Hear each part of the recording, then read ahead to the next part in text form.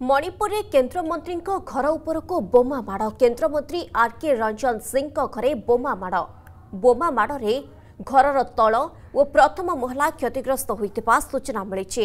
କେନ୍ଦ୍ରମନ୍ତ୍ରୀଙ୍କ ଇମ୍ଫାଲସ୍ଥିତ ବାସଭବନରେ ବୋମା ମାଡ଼ ହୋଇଛି।